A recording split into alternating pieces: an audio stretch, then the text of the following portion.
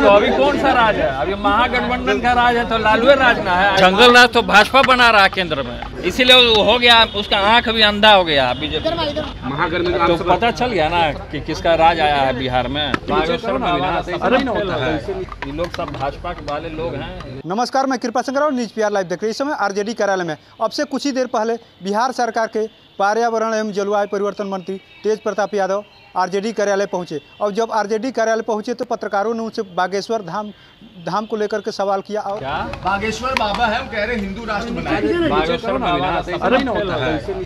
हिंदुस्तान हिंदू मुस्लिम सिख ईसाई हम सब हैं भाई भाई सारे लोगों की समावेश से ये हिंदुस्तान बना है।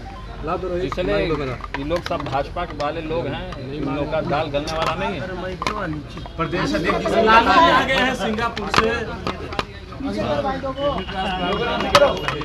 तो आप नहीं आपको जाना चाहिए ना मिलने आप आप कि नहीं मिलने हम तो रोज बात होता है हमारा। आप जाके मिल लीजिए इंटरव्यू लीजिए। जाके स्वस्थ होकर लालू स्वस्थ होकर दिल्ली पहुँच गए। बीजेपी कह रही है कि महागठबंधन की जो रैली होने वाली है वो बीजेपी के सामने कुछ नहीं है। क्या?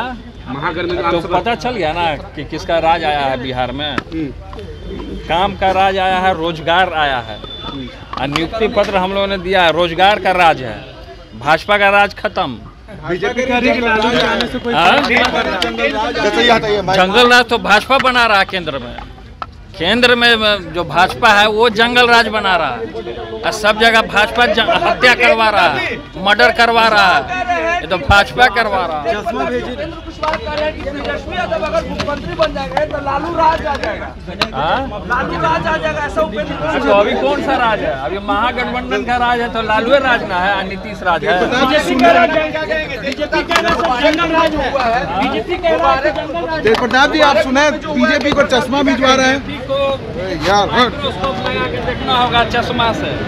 और वो चश्मा हम बनाने जा रहे हैं। क्योंकि बीजेपी हो गया पुराना इसीलिए हो गया उसका आँख भी अंधा हो गया बीजेपी आप चश्मा भिजवा रहे हैं भाजपा को? तो भाजपा को चश्मा भिजवाने तभी ना आप चश्मा पहने हैं।